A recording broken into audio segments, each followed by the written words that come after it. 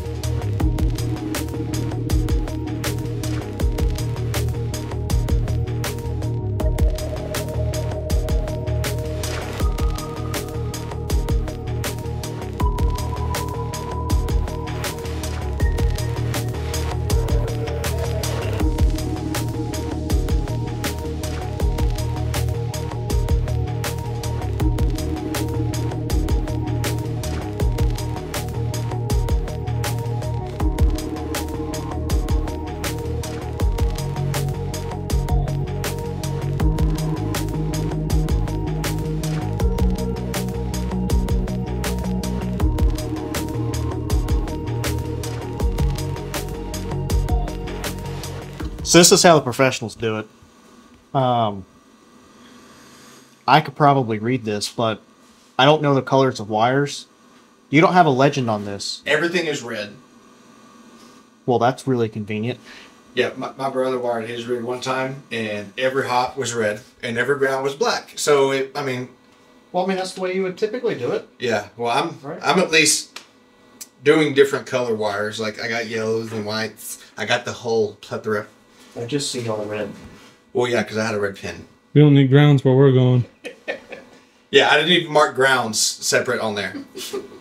I just I, I had to visualize what I was thinking. Yeah. So when I came here, I'm like, where am I running everything to? Like, that's why I put a big freaking board out here. in use a whiteboard with permanent marker. It doesn't come off until you need it to.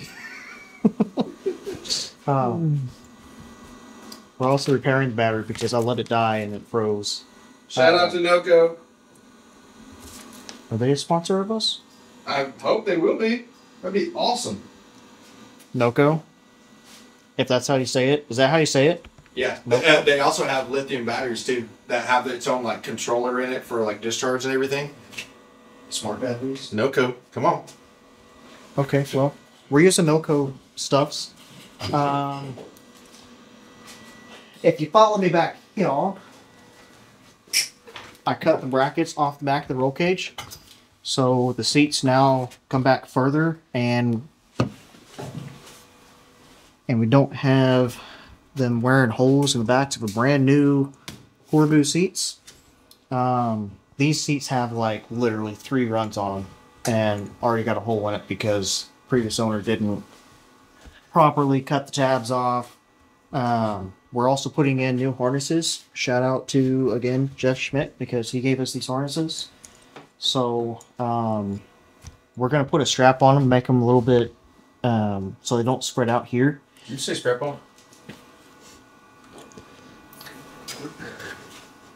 I don't have words.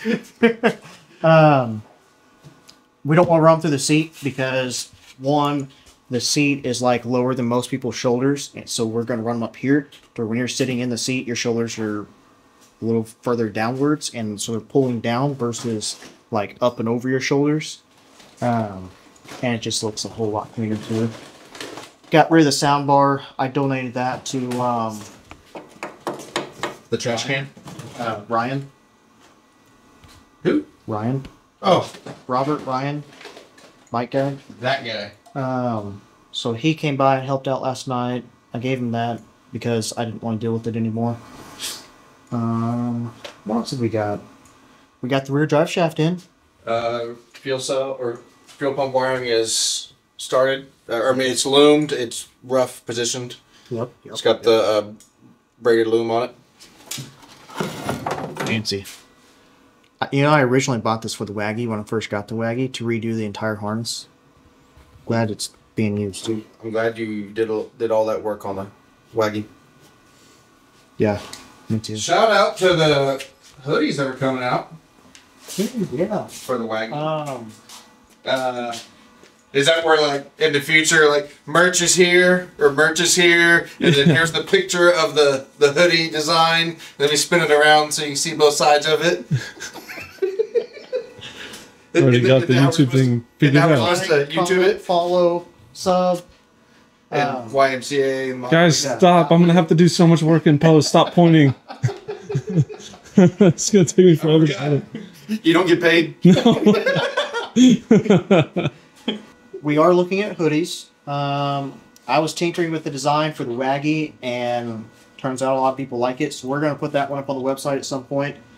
And then Seth is also going to be designing some hoodies and um, t-shirt designs for recoil, like in general.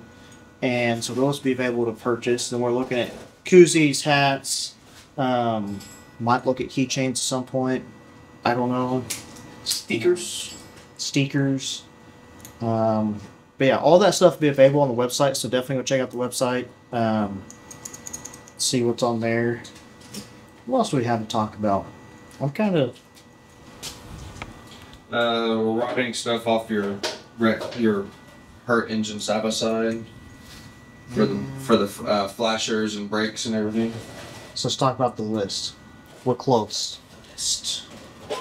So Friday. It is what Thursday. It's Thursday, and the only thing we have left is harness. harness. Um, Dizzy. Fill the transmission and TKs. Throw in a drive shaft in the front. Bulked up the exhaust. And spark plug wires. And shocks. So I need to keep going. Shocks have to happen. Otherwise, it'll be a funny ride on the way up there. Uh, which I can run and get those tomorrow. oh yeah i forgot So, yeah, tomorrow I'm going to get some of this stuff. And then, what else? The clutch needs a little bit of work, so it's a little finicky. I'll actually show you what I've got going with that. The master cylinder for the NV3500 uh, would not work because it's not, uh, or it's an external slave cylinder versus this one's an internal hydraulic slave cylinder. So the 4500 transmission, the push rod was a lot longer. So actually, whenever I put it on there, it literally put the pedal up like this. So the clutch was all the way up here. So all I did was I took a little bit, I don't know, probably an inch or two out of this rod and weld it back together. And my thinking was, so when this is together,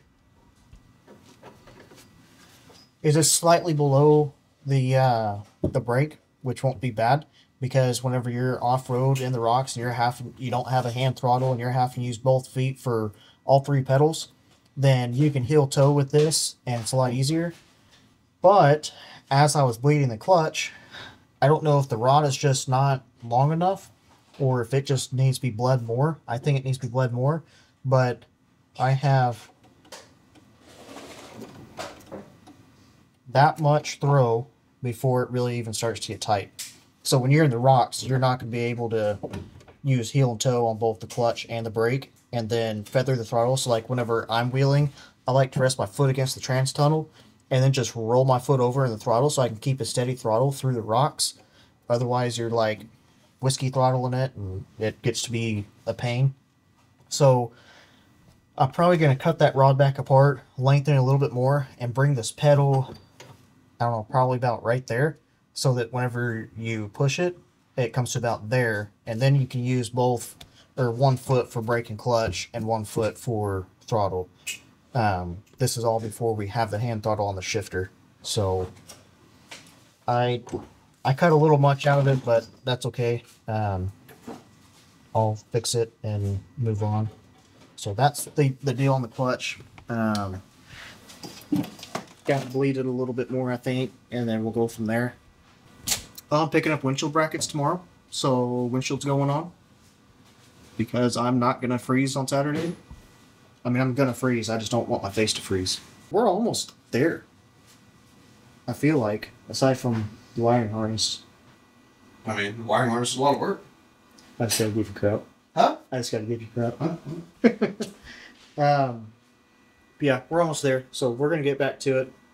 Hopefully, you guys can catch us in the midst of all this madness, and then Saturday, come find us and check out what what we've accomplished. What a lot of people have helped us accomplish. Come look at the uh, dinosaur of a car that nobody knows how to operate besides a few people in the world.